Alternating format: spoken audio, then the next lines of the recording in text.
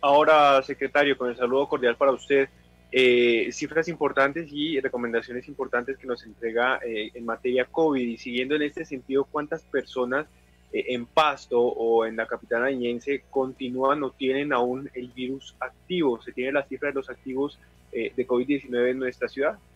Sí, claro, Sebastián. En este caso, en el municipio de Pasto, con corte hasta el día de ayer, tenemos 14.512 casos confirmados por laboratorio positivos para COVID, de los cuales 1.298 se encuentran activos, que equivale al 8.94%, y 12.762 ya se han recuperado, que equivalen al 87.94% la mala noticia, la triste noticia, y por eso no hay que perder de vista esta pandemia, es que han fallecido desde el inicio hasta el día de ayer 452 personas.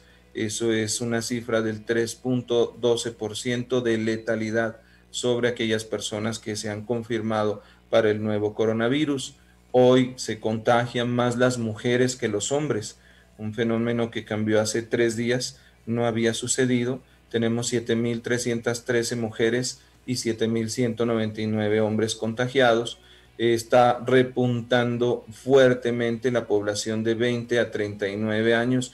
Tenemos 6.800 casos de los 14.500 en esta población y también en los corregimientos. Hasta el momento podemos pensar, de acuerdo a la cifra que nos habla de incidencia por cada 100.000, que el corregimiento más afectado es el corregimiento de Obonuco, a continuación Jongovito, San Fernando y Mocondino.